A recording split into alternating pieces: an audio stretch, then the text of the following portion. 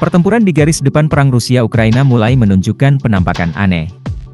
Tank-tank yang menjadi ujung tombak untuk menghancurkan lawan di garis depan dilengkapi dengan perangkat aneh, ada keranjang besi yang melindungi bagian atas kendaraan tempur tersebut. Penampakan tersebut mengingatkan akan film box office yang dibintangi Mel Gibson, Mad Max, meski penampilannya tak sama. Sekarang Rusia pun menggunakan sangkar baja tersebut untuk tank paling baru mereka dan akhirnya juga ditiru oleh Ukraina.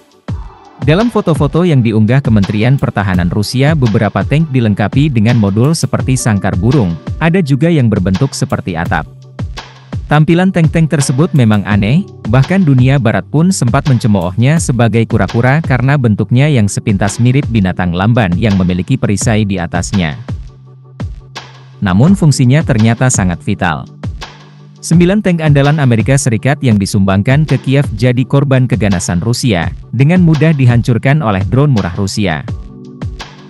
Dikutip dari Military TV, modul sangkar tersebut bukannya tak berguna.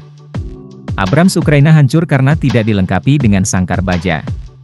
Terbukti Abrams hancur karena drone-drone Rusia yang merajai udara Donbas, Ukraina bagian timur. Sementara, Rusia tak mempedulikan cemoohan tersebut. Bahkan pada tank paling mutakhirnya T-90M Prorif. Bahkan Presiden Rusia Vladimir Putin mengatakan bahwa kini T-90M Prorif semakin sakti. Ia menyebutnya tank itu sebagai tank tempur utama terbaik di dunia. Sistem peperangan anti-tank modern diperlukan. Tank modern juga diperlukan. Saat ini dapat dikatakan bahwa T-90M Prorif adalah tank terbaik di dunia. Begitu mendekati posisi, tidak ada peluang tersisa bagi siapa pun atau apa pun. Tembakannya lebih jauh dan akurat. Selain itu, perlindungannya lebih baik, kata Putin dikutip dari TASS, Kamis, 13 Juni 2024. Pemimpin Rusia itu mengutip cerita seorang pejuang Rusia tentang tank T-90 yang menghantam bom di pinggir jalan. Tampaknya tank tersebut melompat dan awak di dalamnya terluka bukan karena peluru itu, namun karena ia terbentur cukup keras. Tank tersebut tetap utuh, kata Presiden Rusia.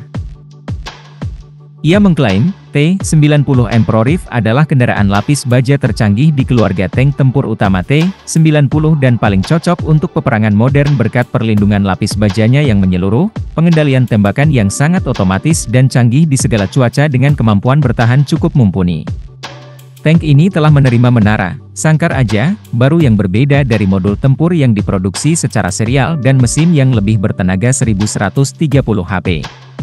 Prorif dilengkapi dengan meriam tank 125 mm yang dapat menembakkan amunisi baru yang kuat dan juga rudal yang mampu memusnahkan tank musuh dari jarak 5 km.